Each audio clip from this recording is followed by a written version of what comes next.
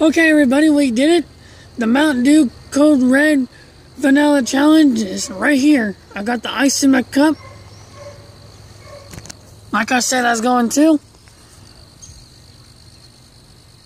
Here we go. And yes, it's got vanilla inside. I did it last night. I went to the gas station and I did it.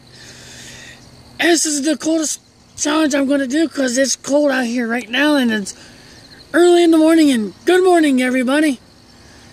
Good morning challenge. Here you go. The Code Red Vanilla Challenge. Three, two, one. Yes, I did.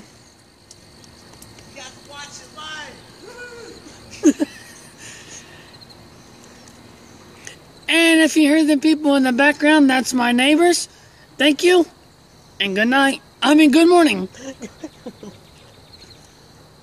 the Van- the Mountain Dew Code Red Challenge done. Goodbye.